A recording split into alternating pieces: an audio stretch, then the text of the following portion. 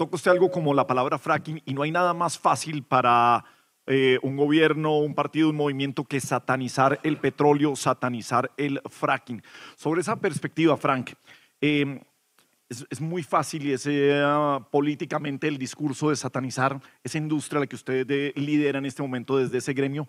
¿Cómo ve que va a ser esa lucha para el 2025 en la defensa de lo que necesitamos actualmente para sobrevivir en este país? Nosotros tenemos claro que el año entrante va a ser probablemente el año más duro que va a tener este sector desde que opera en Colombia, porque va a, estar en medio de las disputas políticas y de unas consignas ideológicas que no tienen ningún sentido desde el punto de vista económico y de política social. Número uno. Lo que nosotros estamos planteando es que se aumente la exploración y la explotación de petróleo. Y en el caso del gas, tomar unas medidas para modernizar el sector. La primera tiene que ver con abastecimiento, es decir, que se explore más y se saque más gas. En segundo lugar, con infraestructura para que podamos conectar el Caribe con el centro del país y para que los ductos sean de doble vía.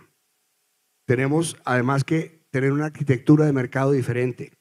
Es necesario revisar el esquema tarifario y tener una flexibilidad en los contratos parecida a la que nos acaban de dar estos meses, pero de manera permanente para que el gas llegue a donde se necesite. Y finalmente que los, que los proyectos costa afuera sean proyectos de interés nacional. Pero yo creo que lo que tenemos que hacer es una reflexión echar para atrás.